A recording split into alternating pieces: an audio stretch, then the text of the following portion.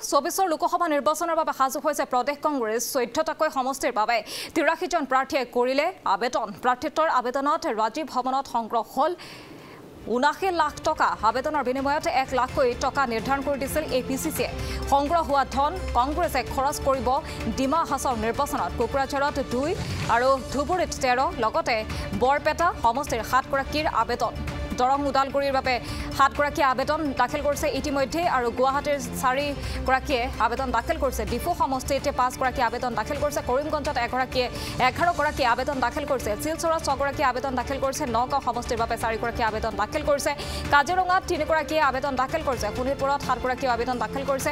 লখিমপুৰ সমষ্টিৰ বাবে পাঁচগৰাকীয়ে আবেদন দাখিল কৰিছে। ডিব্ৰুগড়ত তিনিগৰাকী যোৰহাটত পাঁচগৰাকী আৰু এখন অতিৰিক্ত আবেদন পত্ৰ দাখিল। নগাঁও কাজিৰঙা যোৰহাট সমষ্টিত গৌৰৱ গগৈৰ আবেদন।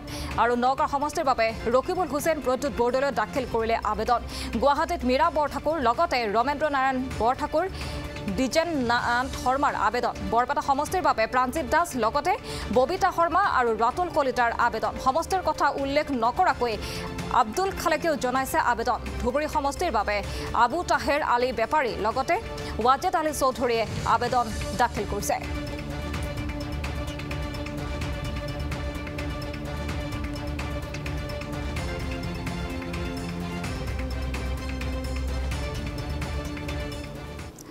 আজি কংগ্ৰেছৰ আবেদন পত্ৰ দাখিলৰ অন্তিমটো দিন। লোকসভা নিৰ্বাচনৰ বাবে সাংসদ গৌৰৱ গগৈৰ আবেদন পত্ৰ দাখিল। গৌৰৱ গগৈৰ হৈ আবেদন পত্ৰ দাখিল কৰিছে সাংগঠনিক সাধাৰণ সম্পাদক। সাংগঠনিক সাধাৰণ সম্পাদক বিপুল গগৈয়ে দাখিল কৰিলে আবেদন পত্ৰ কাজিৰঙা নগাঁও যোৰহাট সমষ্টিৰ হৈ আবেদন পত্ৰ দাখিল। দলে য'তে প্ৰাৰ্থিত্ব দিব তাৰ পৰা প্ৰতিদ্বন্দ্বিতা কৰিব গৌৰৱ গগৈ এই মন্তব্য সাংগঠনিক সাধাৰণ সম্পাদক বিপুল গগৈৰ।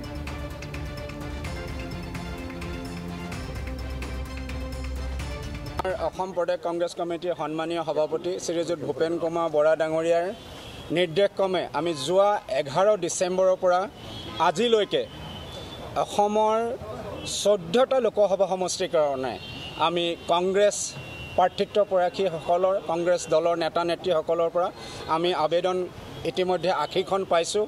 আৰু যোৱাকালি গধূলি আমাৰ সন্মানীয় সাংসদ কলিয়াবৰৰ সাংসদ শ্ৰীযুত গৌৰৱ গগৈ ডাঙৰীয়াই ইমেইল যোগে পঠাইছে। তথাপিতো আজি কাগজখন তেওঁ আমাৰ হাতলৈ পঠালে। তেওঁ তিনিটা লোকসভা সমষ্টিৰ কাৰণে আবেদন দাখিল কৰিছে। এটা যোৰহাট এটা পূৰ্বৰ যি কলিয়াবৰ বৰ্তমান নতুনকৈ কাজিৰঙা আৰু নগাঁও লোকসভা সমষ্টিৰ কাৰণে তেখেতে আবেদনখন দাখিল কৰিছে আমাৰ হাতত। মই আপোনালোকৰ আগত সকলোকে দাঙি ধৰিছোঁ। আৰু গৌৰৱ গগৈ ডাঙৰীয়াৰ এষাৰ কথা ব্যক্ত কৰিছে। তেওঁ আচলতে পূৰ্বৰ যিটো লোকসভা সমষ্টি আছিলে কলিয়াবৰ কলিয়াবৰৰ লগত প্ৰাক্তন মুখ্যমন্ত্ৰী প্ৰয়াত তৰুণ গগৈ ছাৰৰ পৰা আৰম্ভ কৰি গৌৰৱ গগৈ ডাঙৰীয়া আমাৰ সাং প্ৰাক্তন সাংসদ দীপ গগৈ ডাঙৰীয়াৰ তেওঁলোকৰ লগত এটা একাত্মীয় সম্বন্ধ আছে। সেইকাৰণে পূৰ্বৰ কলিয়াবৰ লোকসভা সমষ্টিৰ ৰাইজৰ প্ৰতি মৰম শ্ৰদ্ধা জ্ঞাপন কৰি তেখেতে যিহেতু কলিয়াবৰ লোকসভা সমষ্টিটো এটা কাজিৰঙা হ'ল আৰু এটা অংশ বৰ্তমান নগাঁও লোকসভা সমষ্টিৰ লগত অন্তৰ্ভুক্ত হৈছে। ডিলিমিটেশ্যনৰ পাছত ইলেকশ্যন কমিশ্যন অফ ইণ্ডিয়াই যি ঘোষণা কৰিছে সকলো ভোটাৰৰ প্ৰতি সকলো ৰাইজৰ প্ৰতি তেখেতে শ্ৰদ্ধা মৰম প্ৰদৰ্শন কৰি তেখেতে কাজিৰঙা আৰু নগাঁও লোকসভা সমষ্টিৰ কাৰণে আবেদন দাখিল কৰিছে আৰু লগতে যোৰহাট লোকসভা সমষ্টিৰ সমূহ ৰাইজৰ যি বিপুল দাবী সেই দাবীৰ প্ৰতি তেখেতে সন্মান জনায়। তেওঁলোকৰ মৰম শ্ৰদ্ধাক তেখেতে বুকুত আঁকোৱালি লৈ যোৰহাট লোকসভা সমষ্টিৰ কাৰণেও তেখেতে এই আবেদনখন